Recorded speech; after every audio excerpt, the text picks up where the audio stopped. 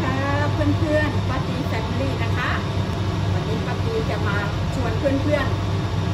ๆทำกับข้าวเหมือนเดิมนะคะ วันนี้ป้าตีจะทำผัดไทยกุ้งนะคะ มาดูกันค่ะเพื่อน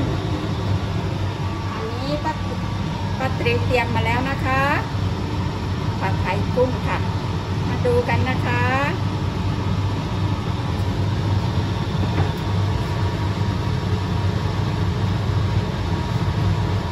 ตั้งกระทะเลยค่ะ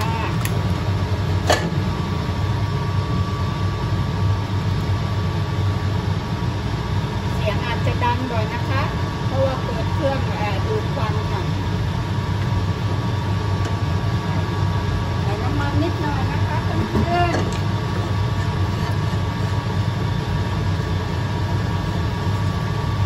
สูตรนี้ เป็นสูตรของป้าตีเองนะคะเพื่อน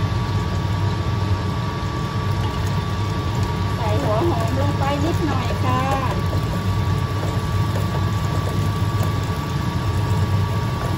พอประมาณนะคะ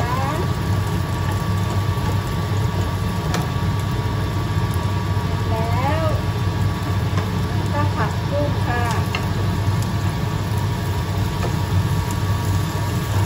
วันนี้เราจะทำผัดไทยกุ้งนะคะ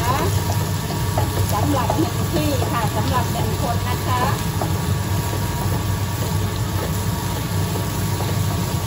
สูตรนี้เป็นสูตรที่ร้านของเราเองนะคะ เพื่อนๆมาไปลองทำได้นะคะรับรองอร่อยค่ะ